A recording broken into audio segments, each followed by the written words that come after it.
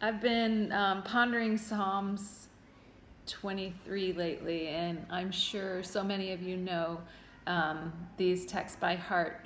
But I was truly just thinking about today the very first verse in Psalms 23 um, that says, The Lord is my shepherd, I shall not want.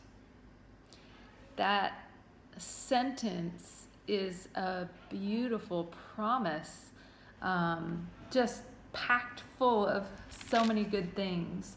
Um, you know, we don't have sheep and shepherds like uh, they used to in ancient times, but you know, like from thousands of years ago, they had shepherds, and the job of the shepherd was to tend the sheep, um, to feed them, to lead them to water, to keep them safe, to protect them.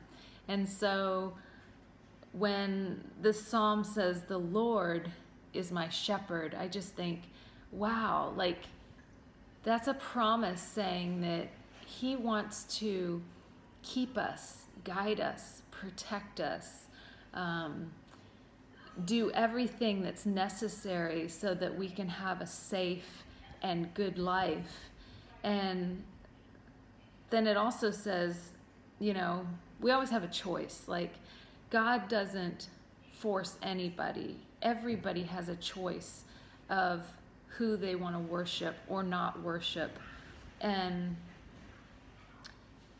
the special promise, though, is that when you accept this promise, that you want the Lord to be your shepherd, you want to be in his flock, you want him to guide you and lead you and protect you, that he says that you will not want or you will not lack for anything.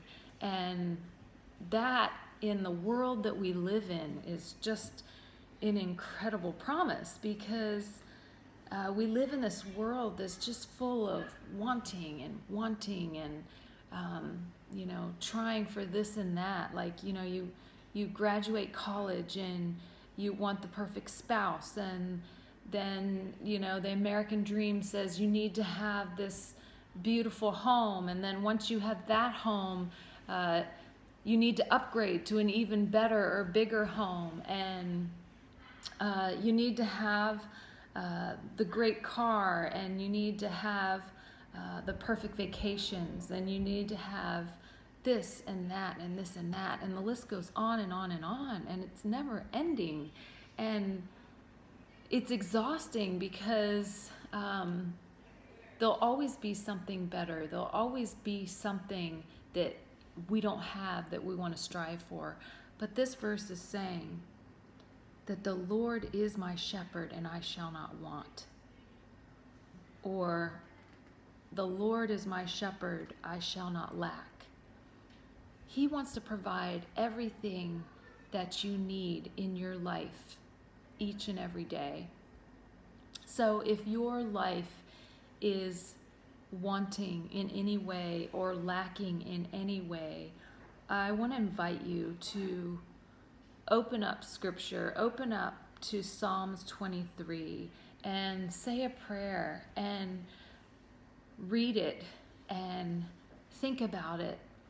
And God will speak to your heart and He will tell you what you need in your life and what He wants to provide for you because he is the good shepherd. And we are sheep that don't know a whole lot and that we need to be guided and tended to and protected. So I'm so thankful today that I have a God who leads me, protects me, and keeps me in his flock because he loves me so much. And he's promised that I'm not going to want for anything or lack for anything. So in this holiday season, when it seems like there's just a whole lot of sometimes wanting when that's not what Christmas is supposed to be about, I hope that you will just pare back and simplify and think about what you can do in your life um, to enjoy it, to be grateful, and to think about what you have and what God can give you and what He wants to give you. So, talk to you guys soon. I miss you. It's 90 degrees today. Talk to you later.